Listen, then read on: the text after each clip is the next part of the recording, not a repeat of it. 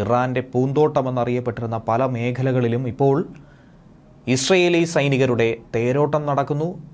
അവിടെയൊക്കെ തന്നെ പാറിപ്പറക്കുന്നത് ഇസ്രയേലി പതാകകൾ തന്നെയാണ്. ഇതാണ് ശരിക്കും ഇറാനെ സംബന്ധിച്ച് ഏറ്റവും അധികം ചുടിപ്പിക്കുന്ന ഒരു വിഷയമായി തന്നെ ഏവരും ചൂണ്ടിക്കാണിക്കുന്നത്.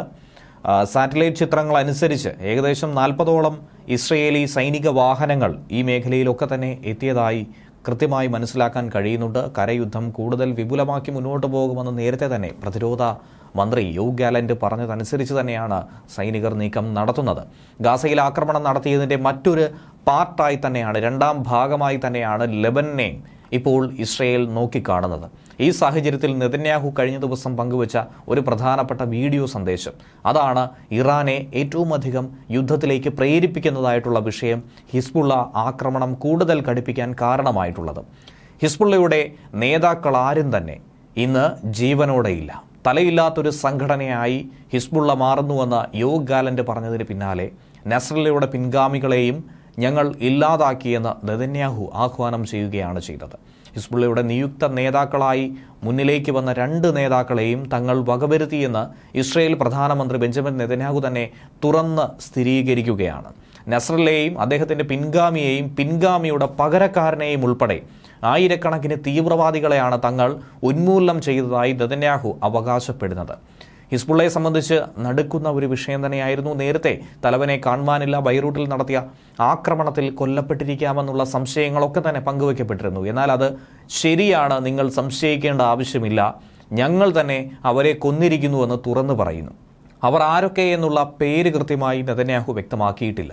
ഇനി ഹിസ്ബുള്ള മറ്റാരെയെങ്കിലും തീരുമാനിച്ചാൽ അവരെയും കൊലപ്പെടുത്തുമെന്നുള്ള ശക്തമായ താക്കീതാണ് ഇതിലൂടെ നൽകിയിരിക്കുന്നത്. ഒരു കൊലവിളി തന്നെയാണ് കൊലവിളി പ്രസംഗമായി തന്നെയാണ് ഇതിനെ നിലവിൽ ലോകരാജ്യങ്ങൾ നോക്കിക്കണ്ടിരിക്കുന്നത്. അതുപോലെ തന്നെ ഇനി പ്രധാനികളായിട്ടുള്ള നേതാക്കളൊന്നും മുഖം കാട്ടാൻ തയ്യാറാകില്ല പേര് വെളിപ്പെടുത്താൻ തയ്യാറാകില്ല എന്ന് തന്നെയാണ് പ്രതീക്ഷിക്കേണ്ടത്. അല്ലെങ്കിൽ മുഖം മറച്ച രീതിയിൽ ടെലിവിഷന് മുന്നിൽ പ്രത്യക്ഷപ്പെടേണ്ട ഒരു സാഹചര്യമാണ് അവർക്കുണ്ടാകുന്നത്.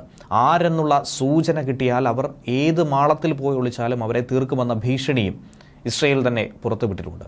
ഹിസ്ബുള്ളയെ ജനം പുറത്താക്കിയില്ലെങ്കിൽ ഗാസയുടെ ഗതി ഉണ്ടാകുമെന്ന മുന്നറിയിപ്പാണ് നെതന്യാഹു നൽകുന്നത്. ഹിസ്ബുള്ള തലയില്ലാത്ത സംഘടനയായി അങ്ങനെ മാറിയിരിക്കുന്നുവെന്നാണ് ഇസ്രയേൽ പ്രതിരോധകാര്യ മന്ത്രി യൗ ഗാലന്റും പരിഹസിക്കുന്നത്. നസ്രലയുടെ ബന്ധു കൂടിയായ ഹാഷെയിം സഫീദിനെ കുറിച്ചും അദ്ദേഹത്തിന് പിൻഗാമിയായി പരിഗണിക്കപ്പെടുന്ന ആളെക്കുറിച്ചും ഇസ്രയേൽ നടത്തിയ ആക്രമണത്തിന് പിന്നാലെ മരണപ്പെട്ടു എന്നുള്ള സൂചനയാണ് ഇതിലൂടെ നൽകുന്നത്.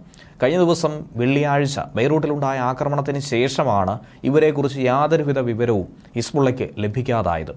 നസ്രുള്ളയുടെ മരണത്തിന്റെ തലേ ദിവസവും സമാനമായൊരു സംഭവമായിരുന്നു ഇറാൻ അടക്കം പങ്കുവച്ചത്. ഖമേനിയുമായിട്ടുള്ള ബന്ധമൊക്കെ തന്നെ വിച്ഛേദിക്കപ്പെട്ടു. തങ്ങൾക്ക് നേരിട്ട് ബന്ധപ്പെടാൻ സാധിക്കുന്നില്ല. കമാൻഡറുമായി ആശയവിനിമയം നടത്താൻ കഴിയുന്നില്ല എന്ന റിപ്പോർട്ട് പുറത്തുവിട്ടിരുന്നു. ഇരുപത്തിനാല് മണിക്കൂറിനകം തന്നെ ഹിസ്ബുള്ളയ്ക്ക് തലവന്റെ മരണം സ്ഥിരീകരിക്കേണ്ടി വന്നു